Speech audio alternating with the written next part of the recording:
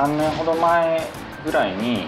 作業効率をちょっと上げたいっていう思いもありましたのでちょっと実験的にまた導入してみようかなっていう思いで。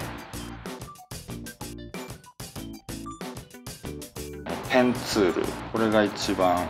表現のメインになってきます。で僕の場合は下絵をトレースするということをあまりしなくて割と頭の中に入ってるディテールとか形とかフォルムみたいなものを直接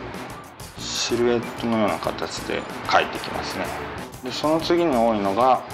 ダイレクト選択ツール矢印を用いてラインの勢いみたいなものを作りたいなというところがあるのでなぞったりっていうことよりかは頭の中にあるイメージっていうのを形に描き出していくという作業を重ねていきます。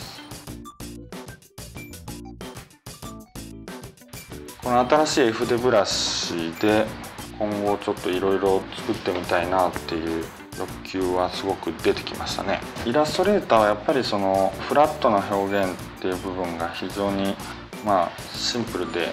個人的には気に入ってたんですけど透明感であったりとかこの重なりの表現っていうのが個性的な形で表現できるっていうのは新しい感覚だなとすごく思いますね。今回備わった線幅ツールよりこう自然な形でイラストレーターの本当に非常にシンプルなこう均一なラインっていうものに強弱をつけることで、まあ、より表現の可能性を広げてくれるシンプルでありながらま繊細でしかもインパクトをつけてくれるようなそんな新しい機能がついています。